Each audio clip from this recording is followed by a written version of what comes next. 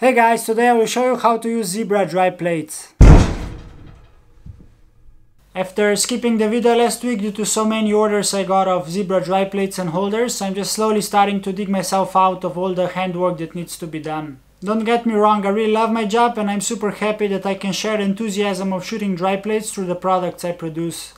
And uh, since there is more and more Zebra shooters out there, I've decided to make uh, some sort of a video guide on uh, how to use and how to work with Zebra plates. I would like to answer the most frequent questions I get on a daily basis regarding loading, exposing, developing the plates and so on. Tips and tricks I'm about to show you can be applied and used with pretty much any dry plate out there no matter whether you bought one or you coated them on your own. Like I said in the beginning, I will be working with standard Zebra 4x5 glass dry plates that are coated with uh, ultra fine grain ISO2 silver gelatin emulsion. And I will load them into Zebra 4x5 dual plate holder. If you'd like to give them a try, they are both available in my Etsy store, which is linked down in the description below. In order for the plates to arrive in one piece, I securely packed them inside this box. So yeah, let's open it up to see what's inside. Once you open the package, unwrap the protective bubble foil and voila, this is the box of Zebra dry plates that includes basic information regarding size and standard developing procedure on the front and the rear side. Make sure that from here on you open the box on the red safe lights or inside a changing bag. Take a knife or scissors and cut the wrapping sticker like this. Once you open the box, you will notice that plates are further protected from light damage with a plastic dark bag, just like we are used to with sheet film or paper. Carefully remove the sticker seal and uh, let's peek inside. As you can see the plates are stacked inside and each one of them is wrapped in an acid-free paper to protect the emulsion and the dark bag from sharp glass edges. Since the paper is very smooth, individual plate can easily be pulled out. And uh, this brings us to the first question. Now to the most frequent question I get, which side is coated with emulsion? Like it says on the packaging, the plate is wrapped emulsion side down, laying flat with the paper. So when you unwrap and flip the plate around, this is the emulsion side. Otherwise, if you are working under red safe lights, you can instantly tell which is the matte emulsion side and which is the reflective glass side. And please always handle the plate by the edges. One extra tip, don't throw the wrapping paper away as it can serve as a protective wrapping for the final negative image.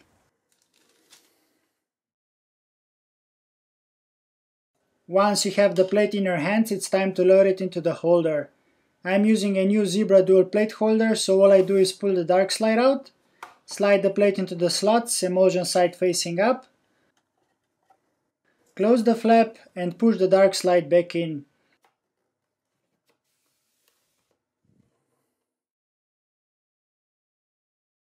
Now that you have your plate securely loaded inside the holder, protected from the light, you can take it anywhere, from the forest to the mountains to the seaside to the moon. Okay, I think I went a bit too far here, but if you have any shots of the crater, send me some. For real, the main advantage of dry plates is that you can carry them pretty much everywhere besides underwater and in extremely hot environments with temperatures above 50 degrees Celsius where you can risk the emulsion melting off. Zebra ISO2 glass dry plates are sensitive to blue, violet and ultraviolet light just like any other primitive silver gelatin emulsion. This means that the emulsion is seeing more that your own eyes can see and the biggest factor here is UV light that can uh, vary from uh, time of the day, time of the year, altitude, weather conditions and so on. Let's go through some examples just to give you an idea.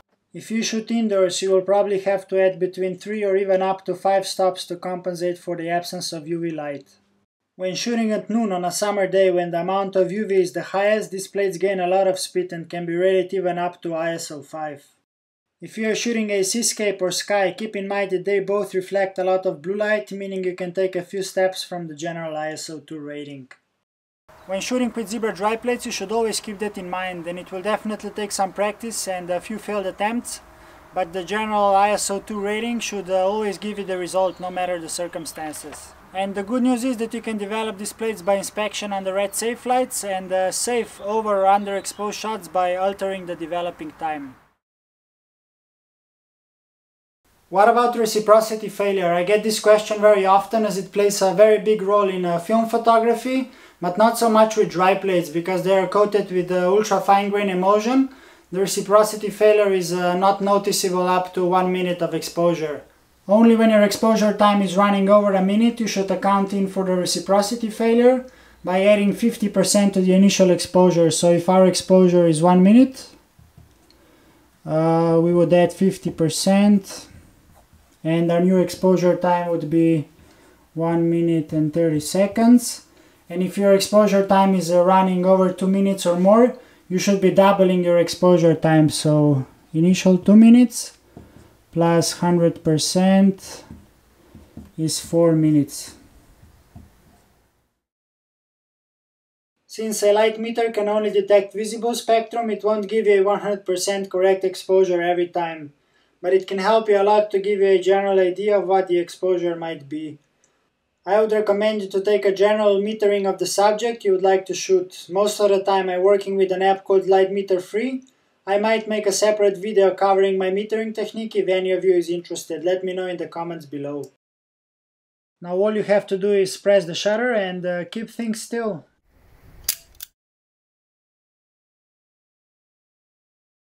The best way to develop zebra dry plates is by inspection under red safe lights like this.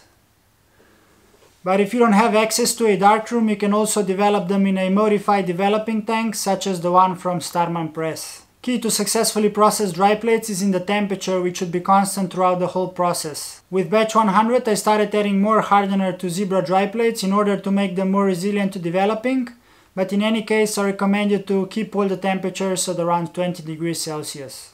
To develop the plate I strongly recommend you to use my favorite Kodak HC110 but any other solvent fine grain uh, developer that's usually used for paper will work just as well. I've had great success with developers like uh, Ilford PQ, Dektol or D76. Developers like Rodinal or T-Max turned out to be too aggressive for the emulsion so I strongly recommend you to use something else instead. Let's turn off the lights and develop one plate together using Kodak HC110 Dilution B.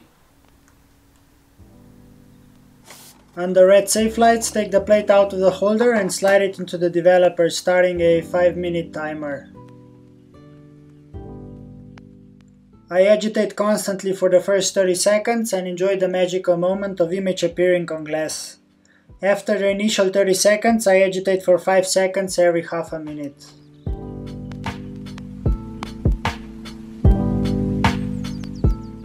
When the timer runs out, I pull the plate out of the developer and slide it into the water bath for a minute, agitating constantly.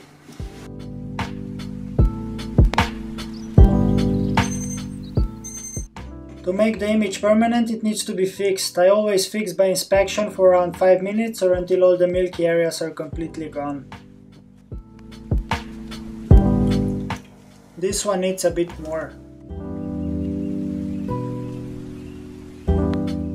The last processing step is getting rid of the fixer. I recommend washing the plate for at least 10 minutes in running tap water. When the plate is washed, let it dry in a well ventilated room for at least 12 hours. There are quite a few options for getting a positive image out of a negative glass dry plate. The most common option nowadays is scanning the plate on a flatbed scanner. You can slide the negative into the enlarger if it can accept 4x5 format and uh, make a proper darkroom print. Next one on the list is contact printing, which I often like to do. You can contact print using direct alternative printing techniques such as salt print, cyanotype, palladium, and so on, or just use a plain photographic paper. This technique usually works better with bigger sized negatives using Zebra 5x7 or 8x10 plates. And the last but not least is digitalizing the negative using a lightbox, digital camera and Photoshop to invert the colors. Since I'm still saving for a proper scanner, this is a technique I use very often. Guys, don't forget to share your beautiful images on social media using hashtag ZebraDryPlates.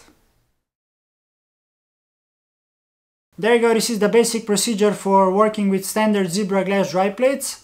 Of course, if you have previous experience with shooting dry plates, I strongly encourage you to experiment and to adapt the procedure to meet your wishes.